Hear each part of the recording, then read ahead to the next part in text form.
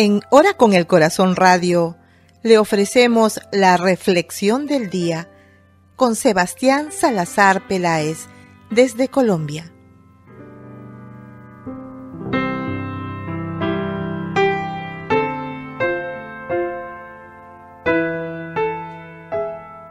Solamente es misionero aquel que primero es discípulo. Fragmento humilía. Monseñor Fabio Suescún Mutis, obispo castrense de Colombia, septiembre 2 de 2019.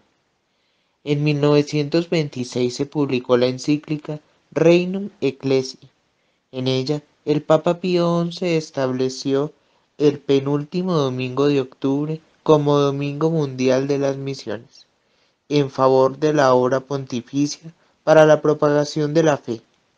Con la colecta se sacan adelante un promedio de 6.000 proyectos. El resto va al Fondo Universal de Ayuda Misionera. En este día se nos recuerda que la Iglesia nació siendo misionera, nómada. Esa es su esencia más pura, genuina e inamovible, a ejemplo de los apóstoles. Para ser misioneros, primero debemos misionar en nuestro interior, Caminar por Cristo, con Él y en Él. ¿Cómo? Primero, descubriendo a un Dios vivo, que se encarnó en nuestra realidad para comprenderla y transformarla, redimiéndonos del pecado, la muerte, entre otras realidades opresoras e injustas.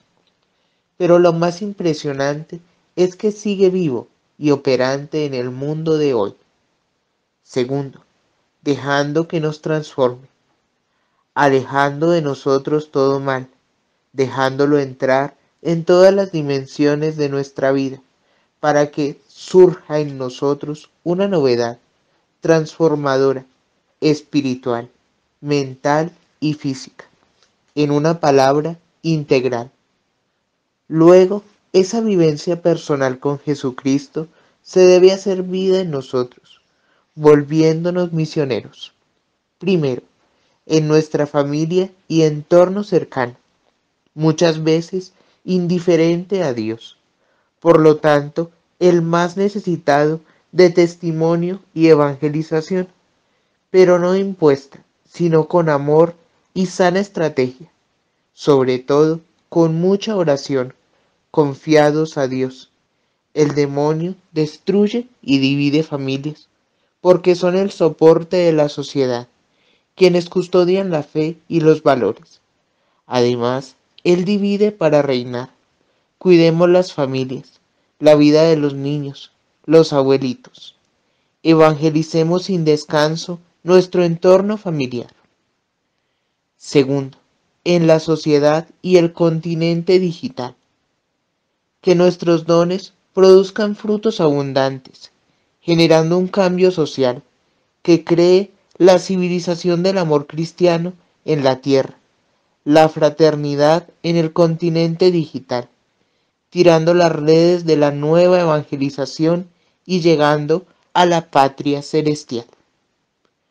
Oración, Señor, conviérteme en tu discípulo misionero, transfórmame a tu imagen y semejanza, evangelizando nuestra familia, la sociedad, el continente digital y el mundo entero. Amén.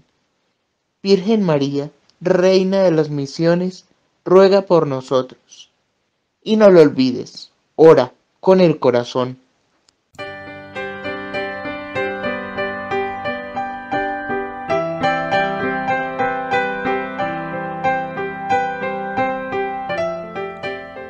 La reflexión del día con Sebastián Salazar Peláez.